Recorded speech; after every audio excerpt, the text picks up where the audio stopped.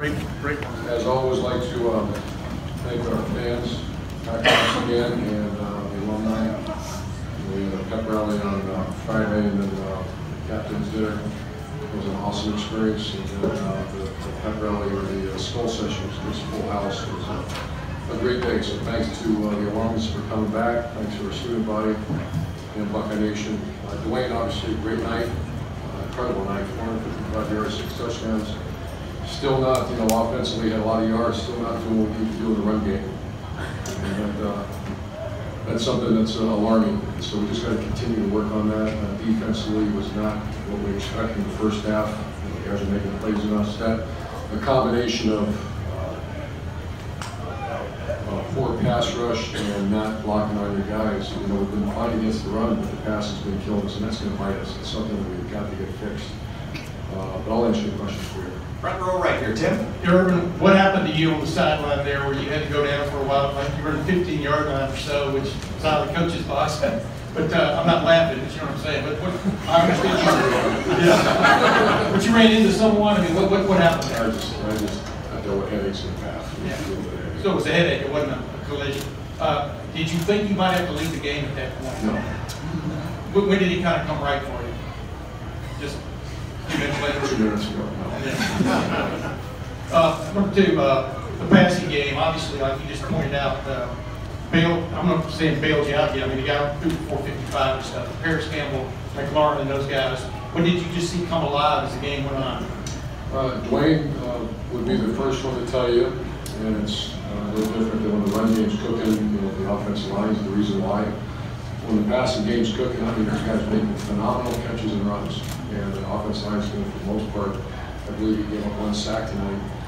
Uh, We did have one, we had two turnovers, which were awful, but, uh, I mean, it's, it's, when you- he's an accurate passer now. You give him time, and you give him you know, a good group of receivers, he's, he's a dangerous guy. Over to the left, Bill. You're six and it's halfway through the season now. You mentioned the run game and defense. How close are you or how far away from you from being a championship caliber team?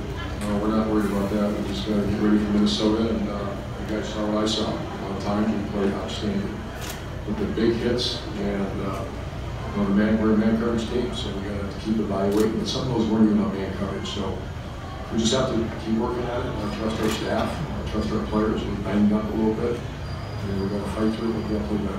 Over to the right, Austin. Urban, I know how you know, cautious you are about what I'm about to say sometimes. but Through six games, what Dwayne Haskins is doing, do you, are you ready to give him your Heisman endorsement? Do you, do you think that it's fair to include him in that conversation right now? I never want to uh, uh, hold our players back. Uh, I don't know what else is out there. Uh, I'm worried about Minnesota, I'm worried about our defense, I'm worried about our run game, I'm about getting guys healthy. But uh, I certainly never want to take away from elite, I mean, 455 yards now. And uh, high, high end percentage completion is uh, 33 to 44.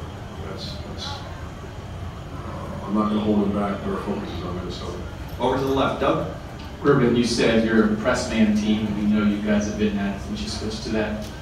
Is there any possibility of consideration that in some situations, backing off of that? What we do, if you notice, uh, we do bail sometimes, we just hate to give free access to other people. And, You know, I think this was, you know, uh, it didn't really snap at us like it did today. You know, Penn State, some guys made some plays on us, but uh, today we really, uh, we really felt it, I felt it, the first half was awful.